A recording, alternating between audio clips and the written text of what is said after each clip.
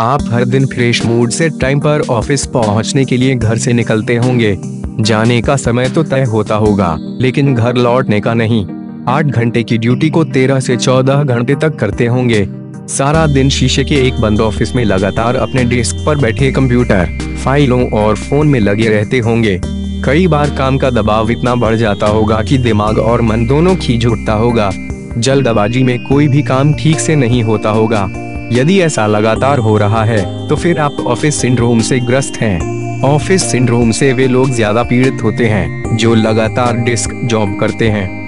देर तक बिना ब्रेक लिए एक ही जगह पर बैठकर काम करते रहते हैं। सही पोस्चर में नहीं बैठते हैं। साथ ही ऑफ़िस का वातावरण भी इसके लिए जिम्मेदार होता है।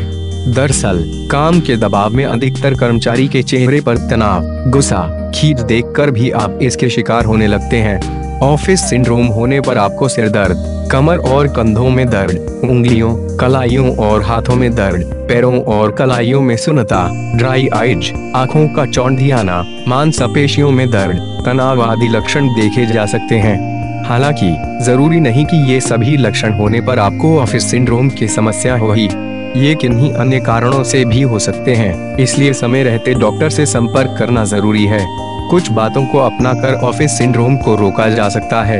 आप कंप्यूटर पर अधिक देर तक काम करते हैं तो कोशिश करें कि कंप्यूटर स्क्रीन और आपकी आँखों की ऊंचाई समान स्तर पर हो। साथ ही कुर्सी की ऊंचाई न तो बहुत कम और न ही बहुत ज़्यादा हो।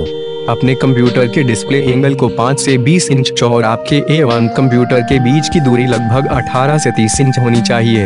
यदि ऐसा नहीं है तो फिर आँखों में दर्द, तनाव और पानी आने का कारण भी यही है। आपके डेस्क की ऊंचाई जितनी है उतनी ही आपकी कुर्सी के हाथ वाले हिस्से की ऊंचाई भी हो।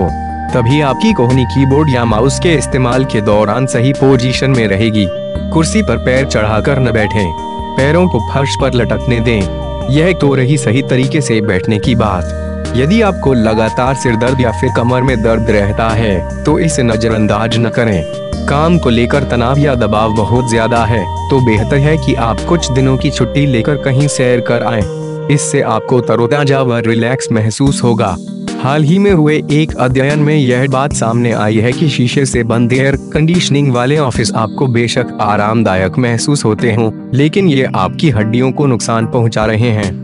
ऐसे ऑफ़िस न सिर्फ़ ताजी हवा, बल्कि धूप से भी लोगों को वंचित करते हैं इस वजह से शरीर में विटामिन डी की कमी होने लगती है, जिससे हड्डियाँ कमज़ोर हो जाती हैं। व्यस्त दिनचर्या और आधुनिक संसाधनों के कारण लोग धूप नहीं ले पाते लोगों का पार्क में घूमना फिरना कम हो गया, इसलिए घर पर आकर कम वक्त एसी में बिताएँ।